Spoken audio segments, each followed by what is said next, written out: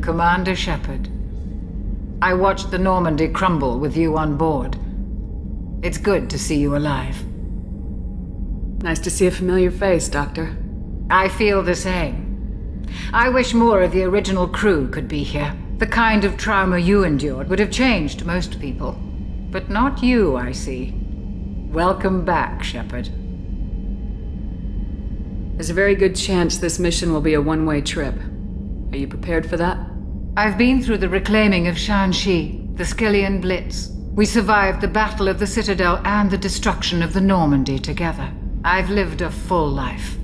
No regrets. I'd like to make sure the crew gets the same opportunity. You're not the Cerberus type, Doctor. I don't work for Cerberus. I work for you. On a mission that may be crucial to the survival of the human race. I have faith that your dealings with Cerberus will be ethical. I trust you, Commander. Doctor, you've been with the Alliance for years. Why leave now?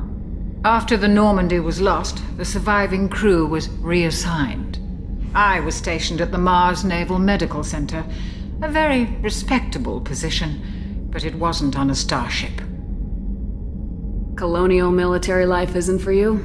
I've spent most of my life on warships, never knowing what the next mission might bring. I'm used to the hum of engines, the creaking of bulkheads, that subtle vertigo when the momentum dampeners kick in. Life planetside is just too static, too boring. Do you have everything you need? I believe so. This medical bay seems very much like the sick bay on the original Normandy. Only thing missing are my private reserves. I even had a bottle of Serrice Ice Brandy that I was saving for a special occasion. I'll keep an eye out for a replacement bottle. Oh, you needn't. It's expensive, and we have much larger concerns ahead. I'll see you later, Doctor. Commander. How may I help you, Commander? I have a present for you, Doc. Serrice Ice Brandy? Eh? You didn't. Thank you. I always regretted not opening that original bottle when I still could. I won't make the same mistake again. Why don't we open this bottle right here, right now, you and me? You crack open the bottle. I'll get the glasses. I thought Alenko's biotic display might have broken Jenkins' back, but Jenkins pops up and yells, That was awesome! oh, Jenkins. Soldiers like him make the Alliance great. Cerberus lacks the same enthusiasm. With your service record, you could have gotten a tour of duty on any Alliance ship.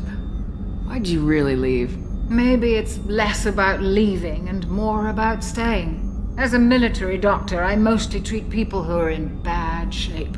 Often they die. And if I can help them, they move on. Either way, they leave.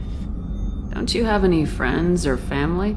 No, not lacking friendship. Just stability. Jeff, Joker will always have Vrolik syndrome. He would never admit it, but he needs my help, and he always will. I wish it weren't, but sadly, it's true. Treating Joker gives you a kind of stability. So does this ship, even if it's a copy. Or, hell, maybe it's you, Shepard. Our immovable center. A place for a person to stop and catch her breath.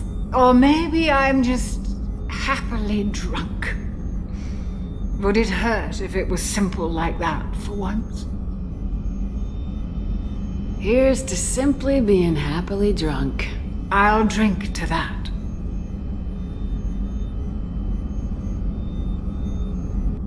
To the ornery bastard who flies this ship. The best fighter jockey to ever take to the skies.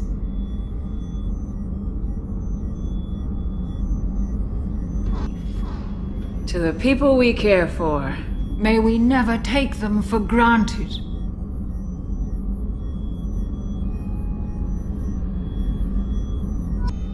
Here's to the men and women of the Alliance. May fortune find them all.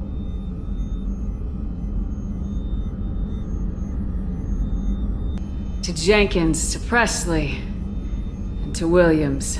May they never be forgotten.